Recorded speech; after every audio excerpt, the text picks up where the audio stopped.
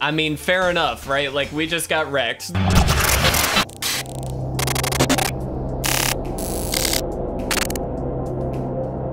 What's going on guys? If you want to support our content and pick up this month's amazing Patreon rewards, you can do so at patreon.com slash itresolves. If you're interested in custom playmats and sleeves, visit yourplaymat.com and use code ITRESOLVES10YP for 10% off your entire purchase. What is going on everybody and welcome back to another gameplay video. Today I am very excited for uh, the deck that we have got on deck today. uh, but before we jump into that, I just want to remind you, please subscribe, guys. It really does mean a lot to us. Uh, any and all support is greatly appreciated. But on top of that, we do have a giveaway going on right now for a free draft booster of the new Kamigawa set coming out in February. The winner will be chosen on February 23rd. I think that's a Wednesday. Uh, and so do keep that in mind if you'd like to enter. Subscribing is one way to do it. More information is on our website as well as here on YouTube. We do have a, a video about it as well. So please go check all that out. But Let's talk about today's deck, which is again brought to us by Total MTG, the same uh, creator that created yesterday's deck list. Thank you so much, Total MTG. I noticed you share a lot of your decks on AetherHub, and I really appreciate that because I love your deck building. So very excited to be testing this out today. But it's Abzan Super Friends. Uh, so the idea is any kind of Super Friends deck obviously is going to be chock full of Planeswalkers, and this one is no different. We've got Kaya, Geist Hunter, a very interesting one. Creatures you control gain Death Touch until the end of the turn. Excuse me, put a 1-1 counter on up to one target creature token you control. Minus 2 until the end of the turn. If one or more tokens would be created under your control, put twice that many tokens instead. And then minus 6, exile all cards from all graveyards, then create a 1-1 white spirit creature token for, uh, with flying for each card exiled this way. That is insane to me. I think that is very, very good. Uh, we've got Sorin the Mirthless, uh, a very, very good Planeswalker as well. 4 mana, 4 loyalty, plus 1, look at the top card of your library, you can reveal that card and put it into your hand. If you do, you lose life equal to its mana value. So this is a nice way to kind of keep drawing cards, keep moving forward. Minus 2, create a 2-3 black vampire creature token with flying and lifelink. And then minus 7, it deals 13 damage to any target and you gain 13 life. Absolutely, uh, this this to me seems like a perfect, just like on theme black colored planeswalker. It's perfect. Uh, we do have, excuse me, uh, Lolth the Spider Queen, a tried and true planeswalker we've seen for quite a while, as well as and Seven in the same kind of vein.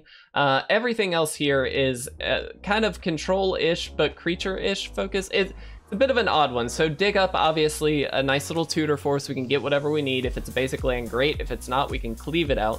Uh, Meathook Massacre going to be able to sweep the board, which is great. Prosperous Innkeeper, though, going to be able to gain us some life for each of these creature tokens as they come into play. It also ramps us, which is good. Uh, Professor of Symbology gives us access to some very, very powerful lessons in the sideboard here, which is great. Uh, and just in general, a nice little 2-1 for 2. Uh, welcoming Vampire. Whenever one or more other creatures with power 2 or less enter the battlefield under your control, draw a card. This ability triggers only once each turn, so this is going to continuously draw us some, some cards, which is very good as well. Uh, Felidar Retreat, going to throw out some extra tokens for us. Edgar, another really powerful creature in this list. So other vampires you control get plus one, plus one, just good. But when it dies, return to the battlefield transformed under its owner's control. As a legendary artifact, at the beginning of your upkeep, create a 1-1 white and black vampire creature token with a lifelink, and then put a bloodline counter on the coffin. Then if there are three more blood, three or more bloodline counters on it, remove them and then transform them back. So it's a nice like recurring kind of thing. You just continuously get it back, uh, which is really nice. Doomskar here with the Meathook Massacre for the sweepers. Storm the Festival to be able to get a bunch of permanents out very quickly. Just an absolute powerhouse card, obviously. And then Emeria's Call here is another kind of game-ending style uh, slash land. Um, but all that to say, this is going to be an interesting one. I haven't tested this yet. We're going to try it together, hopefully have a fun time with it. I love a good Super Friends deck, and this has token sub-theme, so I'm super into it. But let's jump into game one right now. And here we are, guys, for game one. Again, I just want to say a huge thank you to Total MTG, who did share this list over on Aether Hub. This is not a great hand. Um, I feel like it might be worth keeping, though. We've got the dig up, so we can search for our second black source if we need to. Um, I'm just going to lead with the farmland here. This might be a bad keep. I, uh, I truthfully don't know for sure. Let's go ahead and throw this out. Um, and I guess we can just pass. We really don't have to, to run the dig up quite yet. Uh, it would do some deck thinning work for us. That's a bit annoying, I suppose. Um, with that in mind, I think I will go ahead and dig up. Let's get that second. Oh, we don't have a second black source for free. Oh, no. Well, that's what comes from building the deck, or knowing the decks. So, uh, unfortunately, I didn't realize that. But that's okay. We'll figure it out.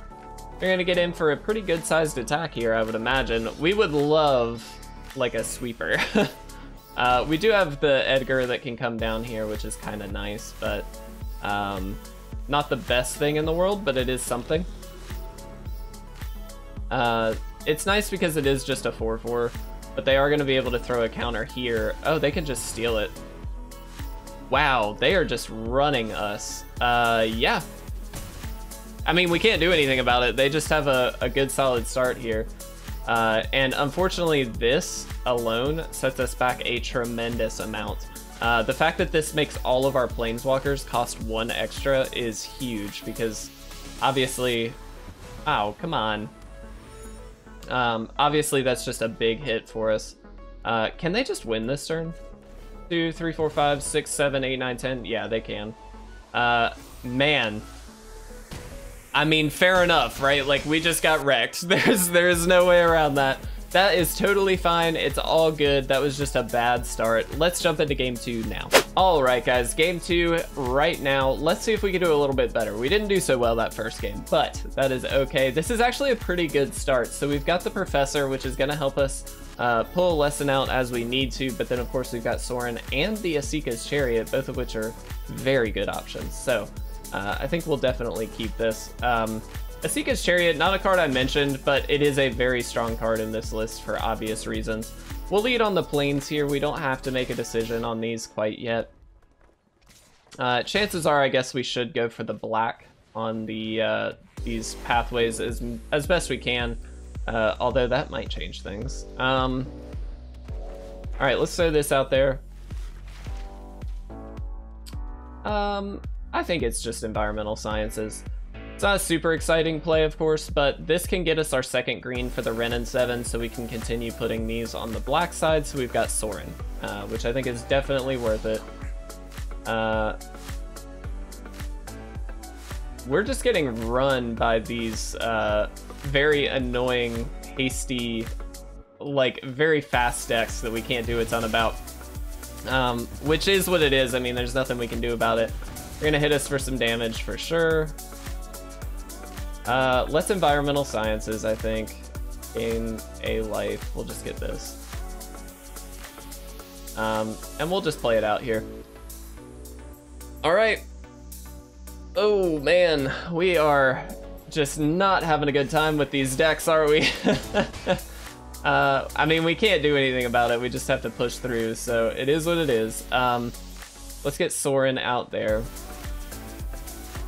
Uh, we are going to spit out the life linker here just for the simple fact that we at least get um, a little bit out of that. Uh, that's scary. Showdown is terrifying.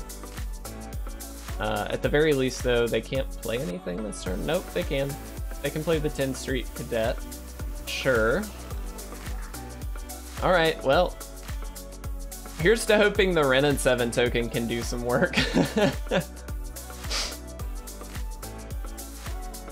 All right. Um, we we might have to make a decision here based on how they attack. Looks like they're just gonna come in at us. That's gonna come in at Sorin. I think that's okay. I think we just need to let this. That's gonna deal some damage to us. So we gotta get, we gotta save ourselves as much damage as possible. I think at this point. Um. Okay.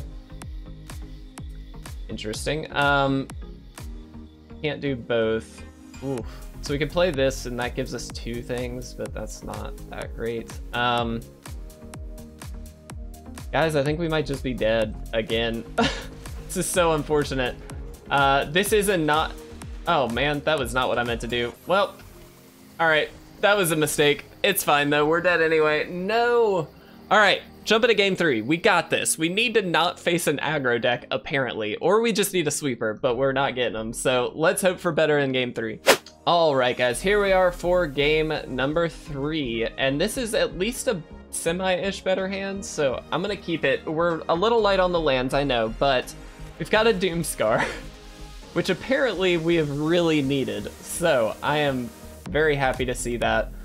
Uh, we're definitely just gonna go ahead and, um, I think we just throw the Doomskar out, right?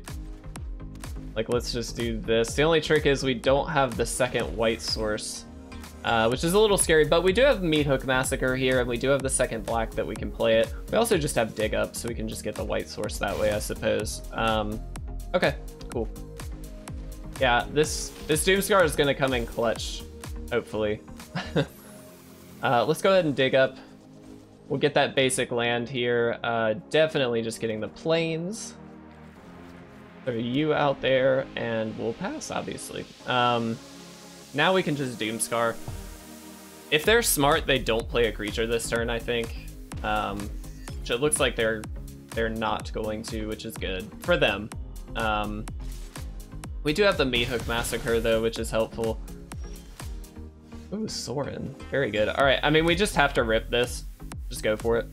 Get this stuff off the field here, and hope for the best. Uh, all right, we do have a black source in the deck, so let's do this. Uh, this guarantees the second black, which we'll need next turn for obvious reasons. Um, all right, cool. That's that. That's fine. I mean, we're down to 12, which is a scary place to be, but we're not dead, uh, which is better than the first two games. Total MTG, I really appreciate your deck building. I have had bad luck with your decks. I am so sorry. Uh, I'm not putting on a good show for you. I apologize, but we'll see if we can get a win with this. I believe in us. All right, uh, are they just gonna transform it? Because that seems very good. Uh, alternatively, if they do just transform it, okay, they didn't. Uh, interesting. So with that in mind, we can just kill that. I think it's just kind of worth it. Uh, it also sets up the Meat Hook Massacre, which is good. Yeah, I'll do that. We need it to, to gain some life here, if nothing else. Um, and that is a very scary card on the flip side, so I think it's worth it to get that out of there. If they don't play a creature this turn, or if they just play like a basic, yeah, like a simple thing like this, that's kind of okay. Uh, it's not great, but it's okay. All right. Um, well, definitely play land. I think definitely play this. And then we've got options at this point, so... I think I want to just get Sorin going here. This just starts, again, attacking on a different axes, something that we talk about a good bit, but being able to hit with a planeswalker and a cre and multiple creatures like that kind of stuff that's very important. Uh, and gaining the life here is very good. So just finding ways to make that happen is i think very important now i understand this has menace so if they attack in we'd have to double block it if we choose to they may just have a kill spell in which case we can't um, and so that's a risk we're taking here but crucially they attack sorin they're not attacking us uh, and we do have ways to kind of work around that. So that's, woo, voice crack. That is fine.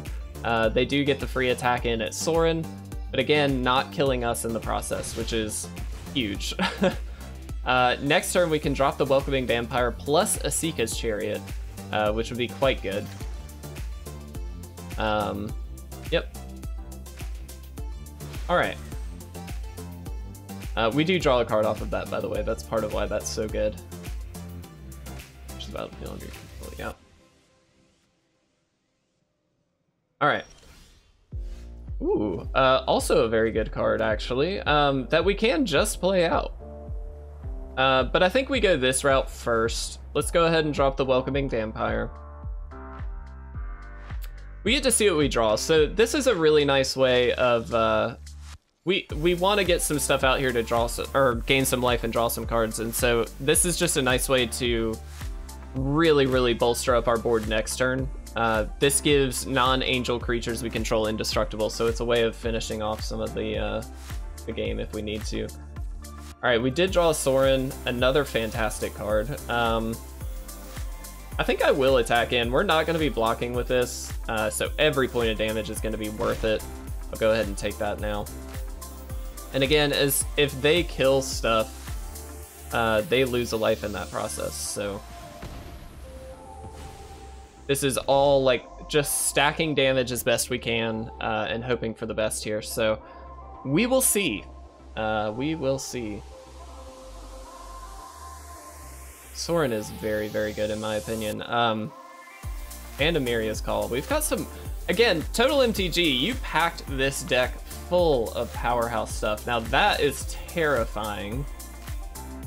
Uh, they don't have that many scary things to get back, though. Oh, okay. Well, that's really terrifying. Okay. That's an interesting include in this list.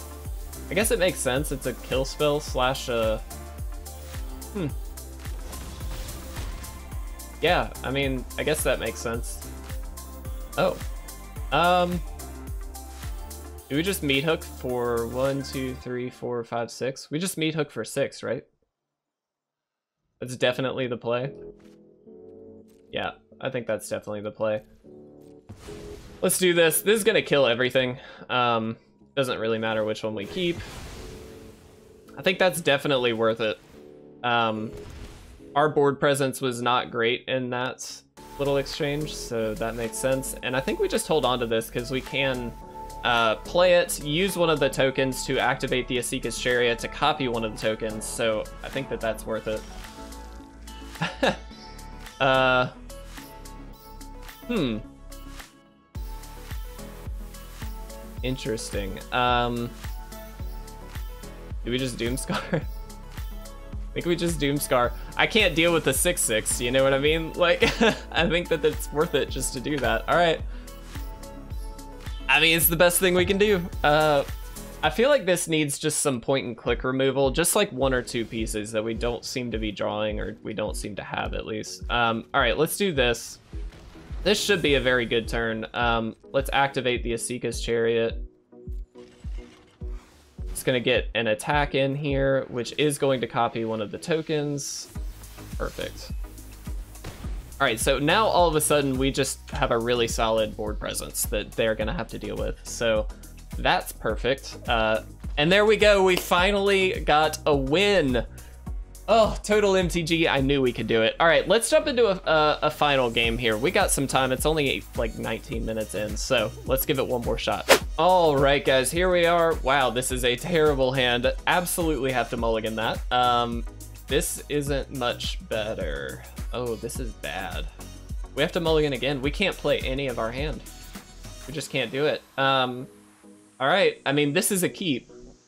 It's not exactly a solid keep, but it's a keep.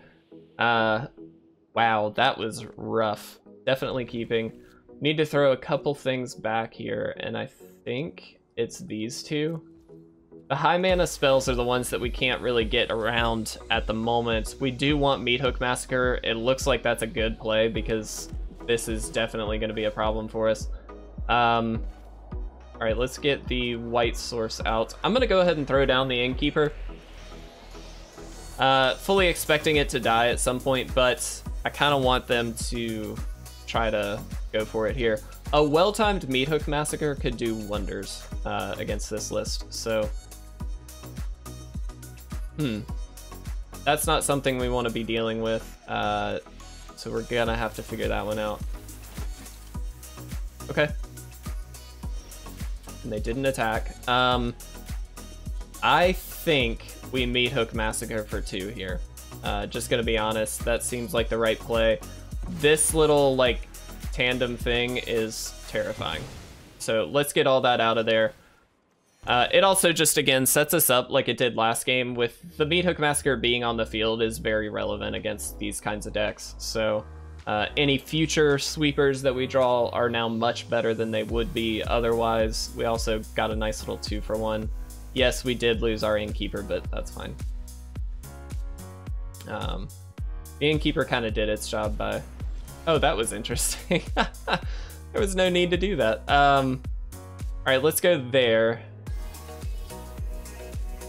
Um, I'm gonna go for the slightly greedier play, which is the Welcoming Vampire first. The reason being, obviously, we might get a trigger off of it with the Professor of Symbology. If we don't, that's okay. Uh, it's not great, but it's fine. Um, and it looks like we're not. That's okay. Uh, it's unfortunate, but it's not the end of the world. Uh, we do have the professor though that can still come down, and then of course we can get in environmental sciences, get our second land, or our next land, excuse me, not our second, uh, and push forward a little bit here. Wow, they are playing all kinds of out of order. Um, it's fine by me. Let's go ahead and do this. Uh, let me see something really quick. Okay, just wanted to make sure. Um, yeah, I think it's just environmental sciences here, guys. I'm not gonna stress too much about it. Let's get you. Oh, actually, ooh, that was kind of a mistake. Um, let's get this going. Let's get second white. Um, I'm just trying to deck fin a little bit. I guess we could have saved the dig up for like a sweeper, so maybe that was a mistake, but I should have gotten a plains off of the environmental sciences. That was definitely a mistake uh, for the potential Doomskar. All right, uh, yeah, now I'm really wishing we had gotten the uh, uh, sequence that a lot better, but it's okay, we'll figure it out. Uh, we'll drop you. um, I think we just drop this down, but I don't love it. It gives them a target, but it also gives us an extra mana, which next turn, as an example, if we happen to draw like the uh, Emeria's Call, um, we would need that to play it. So I'd like to get that down now because it just opens up options for us the next turn. I definitely misplayed. That was 100% a solvable problem uh, that this turn we could have used Dig Up, gotten the, the sweeper that we needed, um, and then been able to sweep this board, and they would have been stuck with only two cards left in hand. So, one card left in hand. Granted, one of these, yeah, Adeline, God, that would have been such a good play. I can't believe I messed up that hard. This is still annoying. Um, that's not something we're going to be able to deal with, most likely. they, they're not playing 100% well either, though, so I don't feel quite as bad. Um,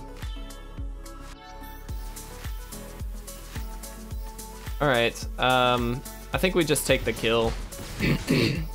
I'm all too happy to trade off there. I don't particularly care about that. Alright, let's Professor. Um... I'm getting this so we can kill this now.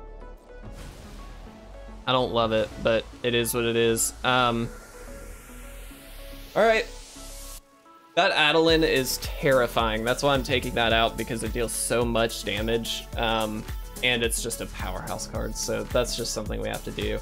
Um, if they can't deal with the Professor, though, these creatures all get killed, but one of them is going to get killed by the Professor, excuse me.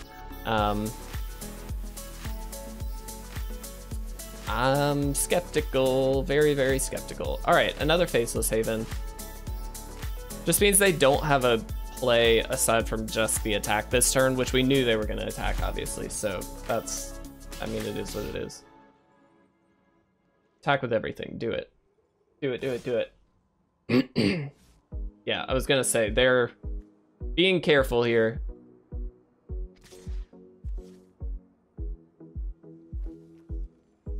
They're just attacking with this. Um, why didn't they attack with the Faceless Haven? I'm gonna say no blocks. I'll take three. That was weird. Um, I think they kind of messed up a little bit there. They continuously seem to be messing up. Um, so did we. Uh, arguably, we could have already not won, but we definitely would have been in a much better position. They would have basically just had the two Faceless Havens at this point. They're getting unlucky with their their land uh, off the top here as well. Yeah,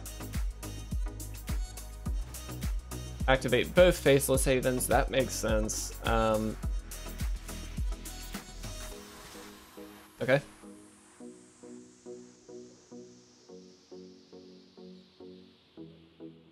Hmm.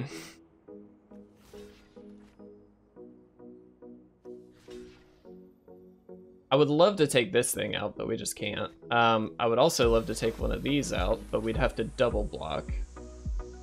Um, hmm. And they could just two for one on that, which isn't exactly ideal.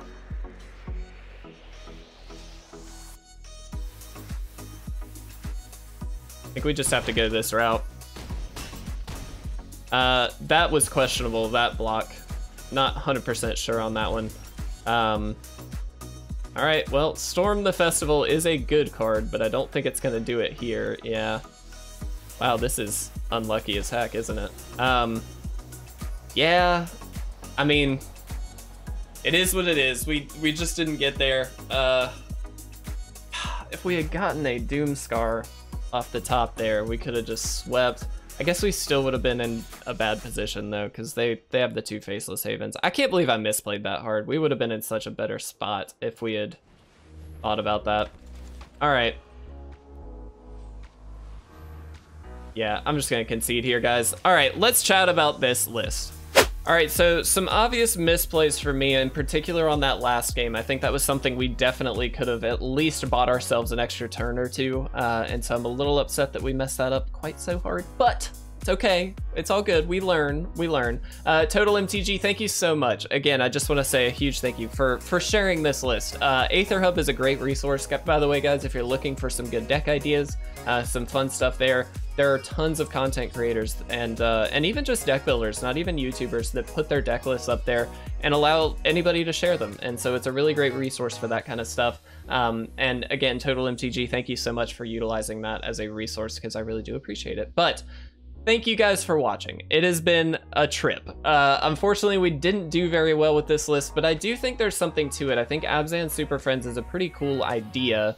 Uh, and I do think there's a lot of stuff there for it. So maybe it just needs some tinkering. Maybe I, uh, maybe I didn't play it correctly, which I definitely didn't in some cases. But regardless, it was fun. So thank you guys so much for watching. Don't forget to subscribe. We do have our giveaway going on right now, guys. So it is really important that you subscribe now. But until next time, guys, I'll see you later. Thank you so much for watching.